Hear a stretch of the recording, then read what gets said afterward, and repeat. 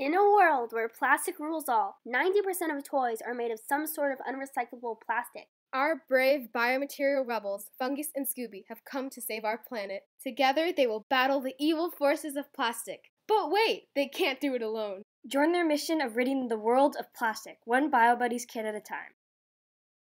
We're the Bio Buddies! Our mission is to provide you with eco friendly toy kits to explore, play, grow, and create with biomaterials. As the world is becoming more aware of environmental sustainability, it's time to move away from plastic. This is where biomaterial design comes in to save the day.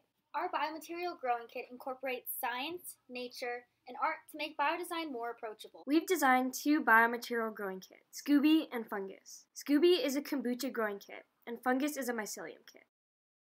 Each kit includes the necessary supplies to grow the biomaterial and explore with it. The average toy fad lasts eight months. Our goal is to create a sustainable kit that can be played with, explored, and developed to sustain interest over a long period of time. The entire exploration journey cycle is accessible, educational, and fun. We tap into the waste stream by feeding our cultures with used coffee grounds, sugary drinks, and tea leaves. First, users grow their biomaterials. Then they can play and explore through personalized projects with their materials. Of course, not all projects will succeed so we encourage users to celebrate their fails.